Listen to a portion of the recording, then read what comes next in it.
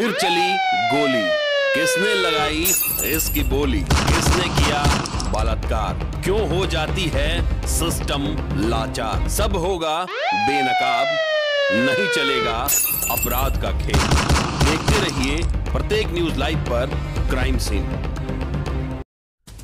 घर के समीप शराब के नशे में धूत होकर हो हंगामा कर रहे शराबी को रोका तो दबिया लेकर महिला के हाथ पर वार कर दिया। जिससे महिला गंभीर रूप से घायल हो गई और इलाज के लिए सदर अस्पताल कटिहार पहुँची। वहीं इस मामले को लेकर मुफस्सिल थाने में आरोपी के खिलाफ प्राथमिकी दर्ज कराई गई है। घटना कटिहार के मुफस्सिल थाना क्षेत्र के चींटा बारी की है, जहाँ सुबह 10 बजे रीता देवी घर के नज़दीक विपिन पंडित, जो शराब के नशे में धुत होकर शोरगुल कर रहा था, उसे रोकने गई। तो रीता देवी को विपिन पंडित के छोटे भाई बिट्टू पंडित के द्वारा उसके हाथ पर दबिया चला दिया, जिससे रीता देवी का दायां हाथ कट गया और वह घायल हो गई जिसे इलाज के लिए सदर अस्पताल लाया गया, जहाँ के उसका इलाज चल रहा है।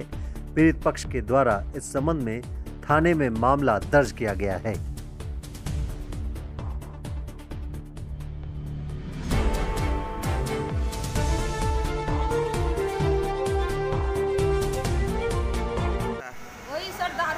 के ना हल्ला चिल्ला कर रहा था। हमारा पति निकला, बोला, उसको क्या है?